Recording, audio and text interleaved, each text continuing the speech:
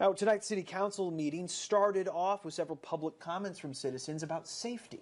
ABC 17's Isabella Roberts joins us live from City Hall. And Isabella, many people were questioning the crime levels in Columbia at tonight's meeting. That's right. Tonight's meeting began with people expressing their concern over the crime and policing here in Columbia.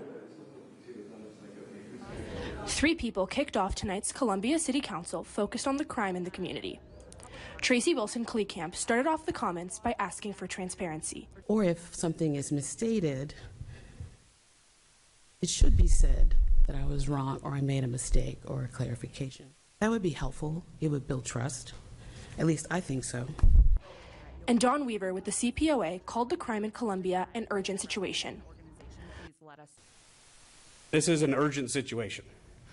And what CPOA is asking for from the community and from the council is that you do two things. You support law enforcement and then you support law enforcement officers.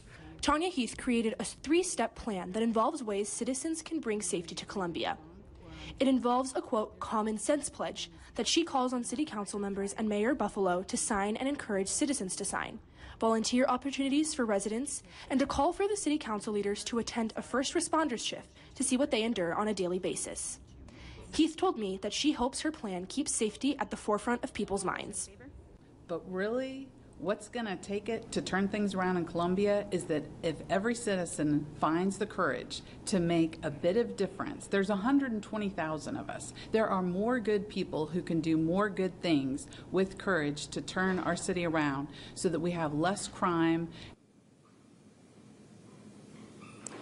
Morgan, Lucas, council members didn't say much in response, but I could see them nodding along and looking over material given to them.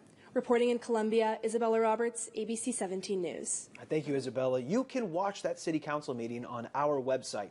It's abc17news.com.